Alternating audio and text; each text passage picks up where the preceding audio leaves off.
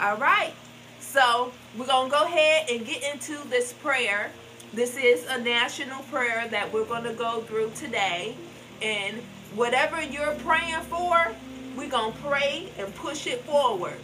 You may be praying for yourself. You may be praying for your family members. You may be praying for your friends. You may be praying for um, your community or, or your county, your state, and, and the nation, and the nations across the nations. Where we going to push the prayer through.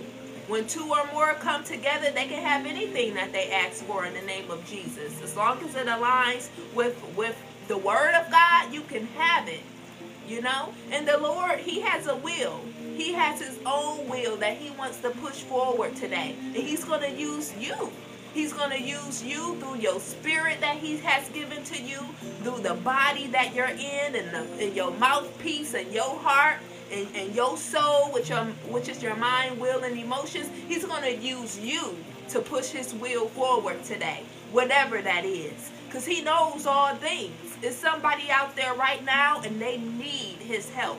And he's going to use your prayers to help that person. And you don't even have to know them.